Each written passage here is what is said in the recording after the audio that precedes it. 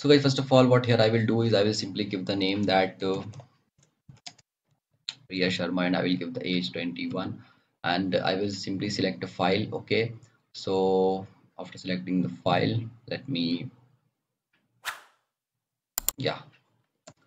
WhatsApp. And uh, guys when I will just simply upload this file so you can see that we have success and when now we are getting the URL link of that file and uh, now we have that URL okay so when I will open this real-time database so here you can see that we have the data. Okay and now with this data we also have the URL okay so now you can see age name URL so guys today in this studio so you know guys today in this tutorial I'm going to show you how can we perform this.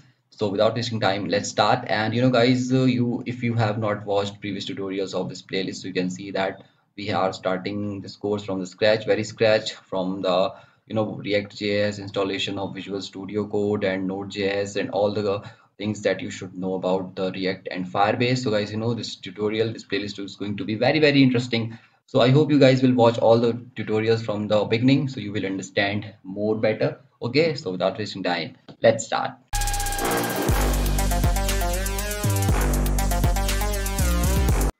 So guys you can see first of all what here we have to do is uh, you can see that this is our previous project okay and uh, there I was showing you how to upload an image and then getting its URL and uh, now in this tutorial we will do both the perform operations uh, uh together. Okay so we will uh, add some data and then we will upload the image with uh, with the URL okay?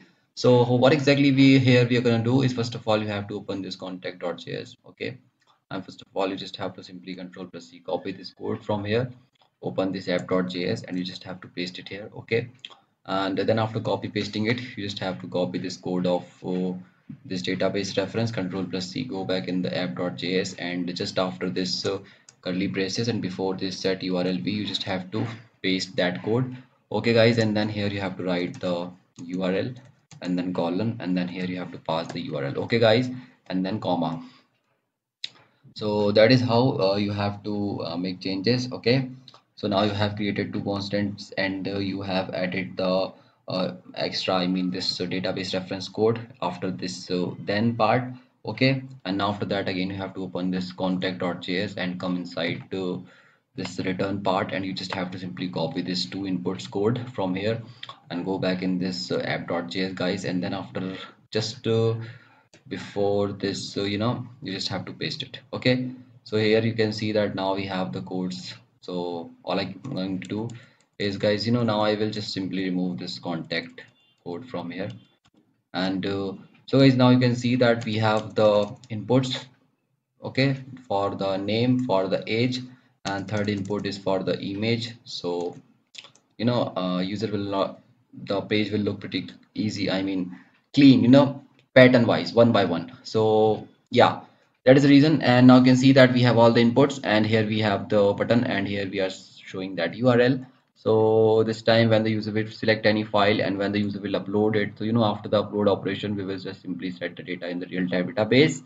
So just simply save the file and uh, I think we don't have any errors here.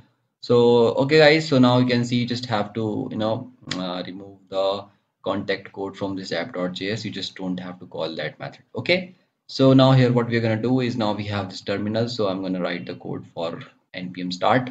So guys here i'm going to simply write cd and then hello world. So that is how we will go inside that project. And then after that i have to write npm start in order to call it this inside the browser. So in few seconds we will see the output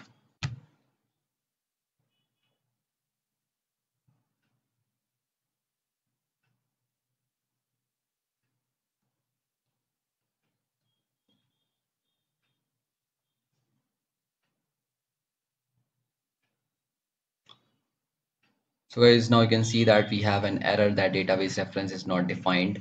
So let's go back in our uh, file project coding.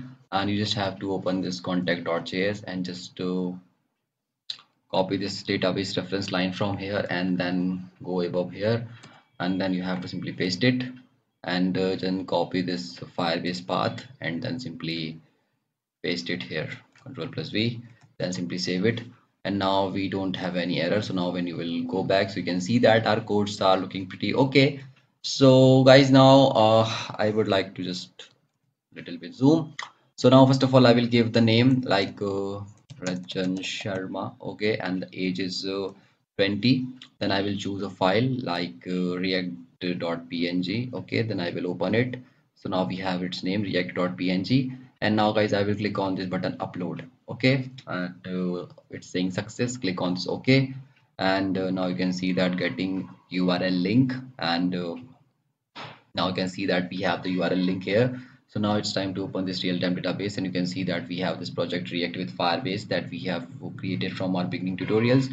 And uh, now you can see guys that when I will open this last child so we have this URL okay so we have name 20 name Ranjan Sharma age 20 so if you will see the previous one we only have two childs but in this tutorial I'm showing you that how to perform uploading images and inserting data together in this tutorial. Okay so you can see that you can simply enter the age you can add the name and you can also save the url so with that help you can retrieve the data whenever you want. Okay guys so you can see that our coding part is absolutely okay and working absolutely fine. So if you like this tutorials please like share and subscribe my channel. And do not forget to press the bell icon so you will never miss any update. Thank you for watching